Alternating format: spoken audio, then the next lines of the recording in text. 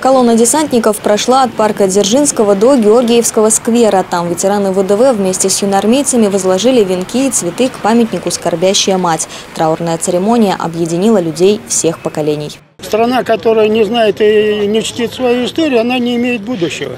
Это как Наполеон в свое время говорил, наверное, тоже не ему фраза принадлежит. Народ, который не хочет кормить свою армию, будет кормить чужую армию. Вот этого нам не нужно. Мы своя, Россия своя самобытная страна со своей политикой, со своим национальным лицом. Такой она должна остаться. И наши дети должны с оптимизмом смотреть в завтрашний день и иметь, в общем-то, светлое будущее. Вот это наша задача. После возложения цветов ветераны ВДВ отправились в село Анахино, где также прошел траурный митинг.